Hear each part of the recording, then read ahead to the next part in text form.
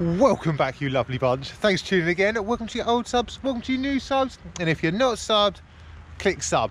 I'm trying to speak a bit slower today so everybody can understand me because we're going to address a really interesting subject.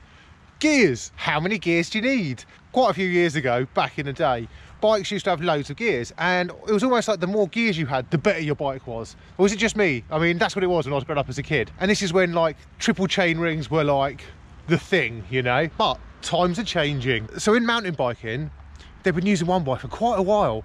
And and it seems obvious that the gravel biking would follow this suit you know? Cool that's really hard to say. Why you want to run a one by? Why you want to run a one by? By one by i mean you have one single chainring at the front and a wide range cassette at the rear. So 11 speed was the common thing for this. Um, I think it's Shimano that only do an 11 speed now. Like, so Campag have released their 12 speed and SRAM have been doing the 12 speed for a while now. But I mean, that extra gear, honestly, I don't think it really makes a huge amount of difference. Not, not at like our level guys so what am i running why do i run it why should you run a one by i mean if you haven't got a one by already don't feel you need to go and buy a one by group set but if you wanted to switch to one by, I'm going to run through a quick, easy way that you can do that. So kind of a bit of a ride around, a chat about gears and, and why I run one by and why I'd never run a two by on a gravel bike. It was a gorgeous day when I left the house and as soon as I stepped outside, got the camera out, the rain starts, but still look, it's quite nice. I really wanted to do this out to Zwift on rollers, but for some reason my power meter will not sync to Zwift. So I was having to use like estimated power, which is like quite far off, but that's a video in itself. Anyway, let's go. I'm getting cold and wet, and um, and I'll tell you about one by. All about one by. How exciting! Come on, let's go.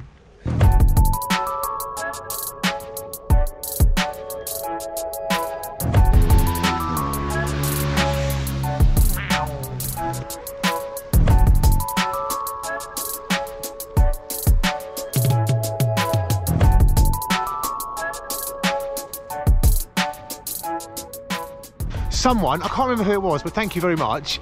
You um, told me how to get the turn by turn on my Bryton. And it seems to be working. Probably not going to stick to the route, but thank you so much because it really does work and I get a little arrow, so I'm really happy.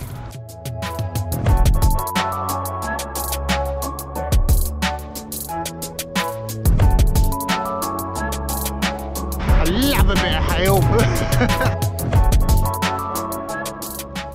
Well, that was fun. It went from sunny to absolutely freezing and hailstones.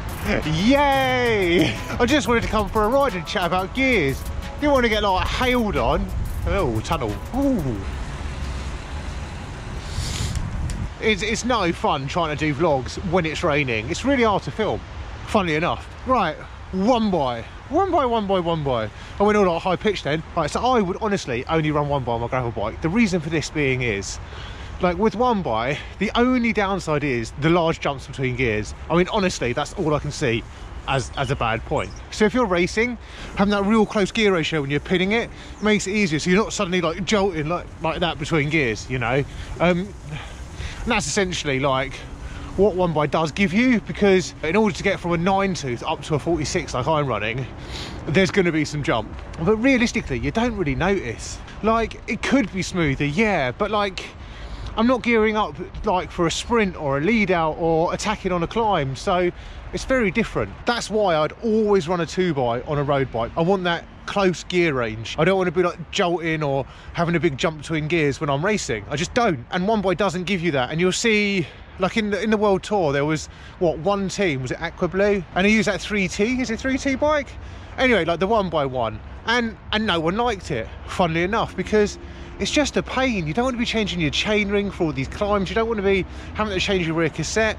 Like with a gravel bike you bosh your chainring on you bosh your cassette on and you're done. That's it. You might change your chainring actually if you're like doing something like particularly hilly. But i've got a 40 on the front and a 9 to 46 on the rear, which is fine for climbs, it's fine for downhill, it's fine for everything. With SRAM, you can do the mullet, so you end up with like an Eagle cassette, so that'll give you a 10 to a 52 or a 54, something huge. But the downside to running that SRAM Eagle mullet is the bigger you go on the rear cassette, the bigger the jumps are going to be between the gears. I mean, it's inevitable. So that is the downside. I mean, it is a really good setup but that is the downside. You end up with like huge jumps between gears. I was to like do a point, some riding, then a point, then some riding, but like I'm feeling all chatty, so so you just have to listen to me. so another good thing about gravel group sets is the rear mech often has a clutch in them, which means that when you're going over bumpy terrain and all these rocky rad descents, what a clutch does is it makes it means that your rear derailleur doesn't move as much and it stops the chain bouncing off really really good for gravel like awesome don't really need it in road as much because well there, there's no gravel or rocks you know? But this has all come from mountain biking you know? And then also the narrow wide chain rings. That's where some of the teeth one of the teeth is wide and then one's thin. I'll try and show you now actually. Let's have a look. Let me show you. You probably can't see that at all but you can google it. So basically one tooth's narrow one's wide and that keeps the chain like really firmly in place. And it just makes it a lot easier when you're like pinning it about and you don't end up dropping the chain all the time. So the combination of the narrow wide chain ring and the clutch in the rear mech your chain shouldn't really drop off really at all. Ever. I never turn my clutch on. So on shimano you can turn the clutch on and off. On SRAM it's like built in. But on my shimano i literally never turn it on because i just don't need it. I think i've dropped my chain once and that's never having my clutch on. I mean, that's the thing, a well-designed drivetrain and like rocky ground, it's just going to be fine. You're not going to be dropping your chain all the time. And that, I suppose, brings me nicely on to my next point. Converting to one by. Do you need like something special? Do you need to buy loads of stuff? Can you do it with your current setup? Well, essentially, like, yeah, like I've done it before, my cyclocross bike. I took it from a two by and just set it up as a one by. I had a 36 up the front and I had a 11 36 at the rear. So that gave me a 36 36 you know which was quite nice. I mean that was all right for racing but for gravel you need something a bit wider. My advice if you want to convert like pretty much next to nothing you can just do it with your current setup you know. You can literally if you're running a double chain ring ditch one chain ring and uh, run that with your rear cassette you know. You might have to put a bigger cassette on but a lot of rear mechs will only reach up to a 36 so you're not going to have to like a great gear range, that's going to be the downside. But essentially it's free and you're just using what you've got. I'd look at getting a narrow wide chainring though. I mean, depending on your like BCD on your crank, like how how spaced out your bolts are. like that, that depends on the size chainring you can run. But essentially you can run it pretty cheap and you can run like an old 105 rear mech for example and just use like an extender. So you get a little thing that screws into your rear mech and your rear mech hanger and it makes everything a bit longer so you can um so you can still run like a wider range cassette. I mean honestly, does this make any sense at all? Hopefully it does. A bit waffly, isn't it? This is Dave's way of explaining stuff. But essentially, but essentially it's like I'm gonna say something smart. I think if you're going to get a gravel bike, if you want to set up your bike as a gravel bike, you have to go one by. It's just so much better. Right now, I can't really feel my fingers. They're so cold. I'm not riding fast enough, that's the thing. Seagulls are so loud, mate. So loud. Yeah, not like loads of scenery today, is there? What would you rather look at, right? Beautiful scenery or me?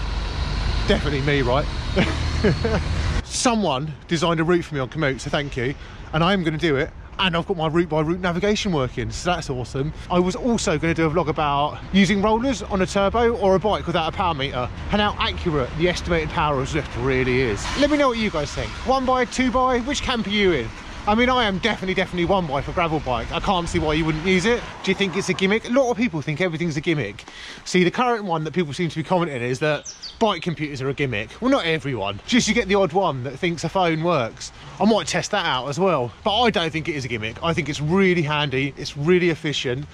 I mean, I'm riding up this hill now. It is 12% and I'm chatting to you because my gear range is nice. And that's a good thing about one by. I mean, two by will give you that too. I mean, two by gives you a really big gear range as well. It just gives you like closer gears, so you don't have those jumps. I think that's kind of pretty much it, right? Am I missing something? There's not a huge difference, is there, really? Look, on my gravel bike now, I've got 11 speed. And if I switch to the Shimano, like 2x, I'd have 22 gears. But I wouldn't have that heavier gearing, and I wouldn't have that lighter gearing. So I mean, to me, it's just not really worth it. So a really, really interesting subject today, hey? Gears, one by, two by. Like, in short, I'd use two by on a road bike because the close gears are really nice for racing and you can really fine tune which gear you're in. Whereas on a gravel bike, you don't really need that. You just need to like be able to smash up a hill or smash down a hill or smash along some gravel. And a one by gives you that. You also get the clutch which keeps the rear derailleur like in place and it means that your chain doesn't drop off. You have narrow wide chain rings, they keep your chain in place. So essentially, they're just really good. I mean, is there anything I'm missing? Is there anything that you would add? And your comments are really helpful because of you. I have a rad route to do and I have turn by turn navigation that now works. So thank you. One by two by. Which do you prefer? I'll see you all soon. Bye.